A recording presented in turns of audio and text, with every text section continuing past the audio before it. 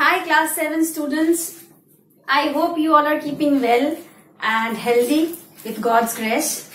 Uh, I am here again and welcome to the new academic session of 2020-21.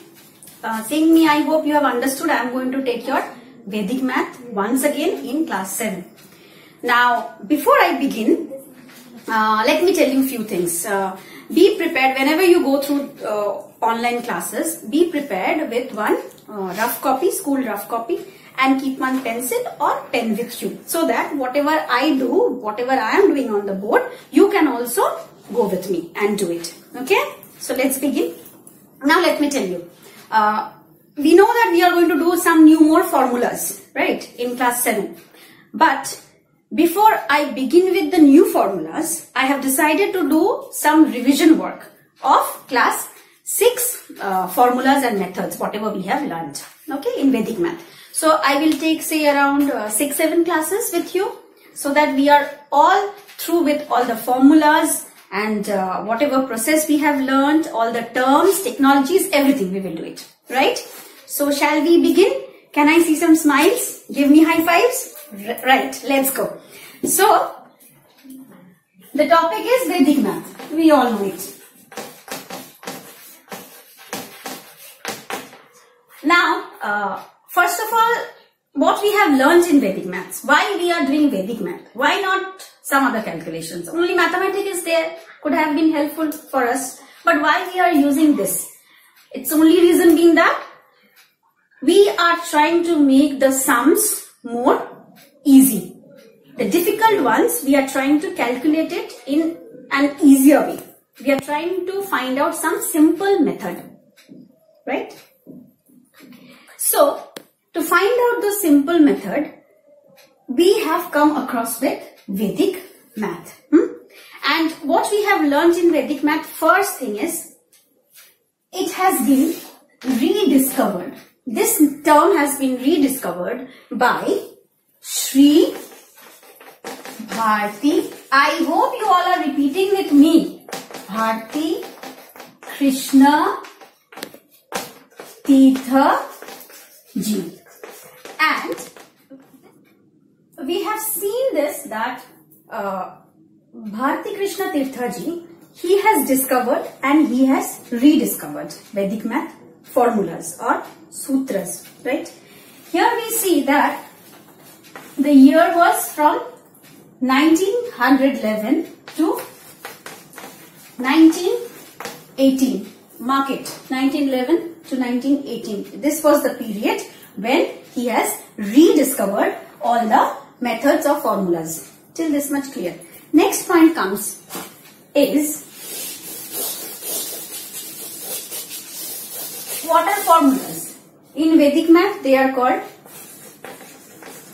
sutras, right? If I am not wrong, you all remember this. In Vedic math, this is called sutras. How many sutras we have learned? 16. So, in total there are 16 sutras and out of these 16 sutras, what we are going to do? We are going to learn from here all the sutras. We have already started our journey from class 6 and we are moving slowly. Done? Now from these sutras we see some Upasutras. I think you can see this, right? Is it, is it visible or not? I hope it is quite clear to you.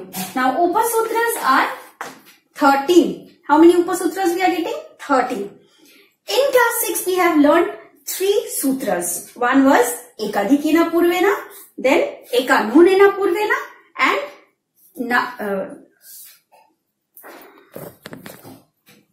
and Nikilav Navataha Charamam Dashataha. These three sutras we have already learnt. I hope you all remember, right? Yes, okay. Now next, move on to the next part. What is it? Sutras done. We have understood and we have revised what is Vedic math. That is also done. Third part comes is combination. Now what is this combination? What I have taught you? How many of you remember will write by themselves and those who are uh, still in uh, confusion, I will revise for them. Okay. So combination form combination is what what is this combination formula means? There are numbers from 0 to 9 and from 0 to 9 we calculate in this way.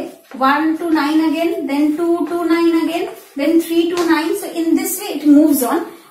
In total there are 100 formulas. In total there are 100 formulas. Okay? Out 100 formulas we have also seen there are some easy formulas and there are some tough or difficult or hard formulas now, which term or which numbers you can say are easy one? Like 7 plus 7 if I say, immediately it will strike in your mind that 7 plus 7 is 14. So you will write 14. Right? Suppose I say these are also easy ones.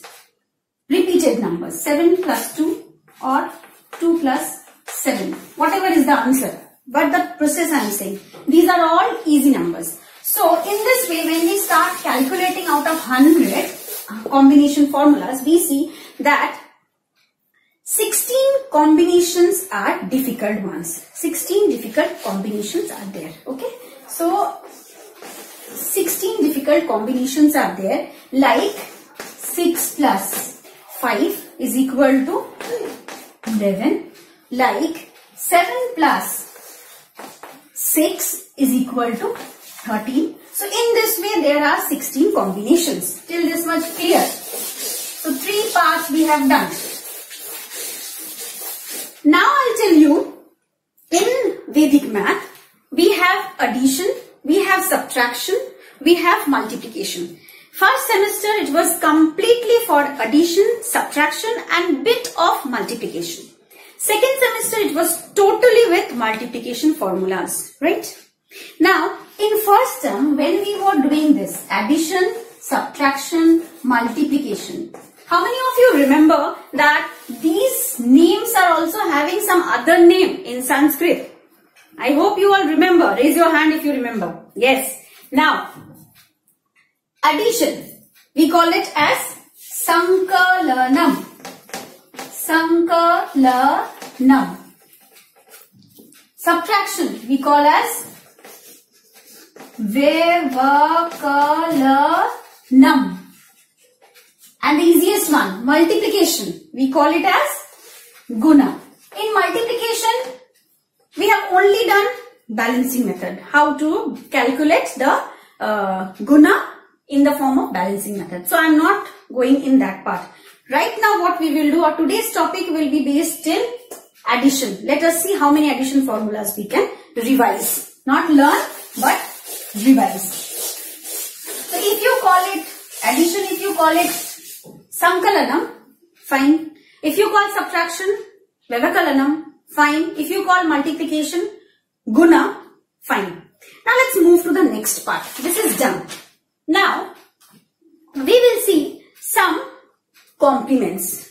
Remember, we have done complements like in big friend we used to do, we had some formulas in big friend right? So, those are only converted into complements. In Vedic math, I cannot use big friend formula. I can't say because it is related with abacus.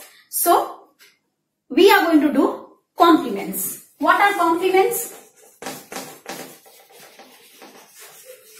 I hope you all can see. One's complement like best friend. 9, right? 9 complement 1 to make it 10. Hmm? Clear? 8 complement 2 vice versa 2 complement 8 7 complement 3 3 complement 7 4 complement 6 6 complement 4 5 complement 5 5 complement 5 so it's already done vice versa in this way we get the complements. And why we need the complements? To do the calculation simple. To do the addition, we need the complements. Now, after getting complements, four steps done, right? We have understood what is Vedic math or we have revised what is Vedic math, where from it is, uh, uh, who has discovered rather, sorry, who has discovered and who has rediscovered that also we have done.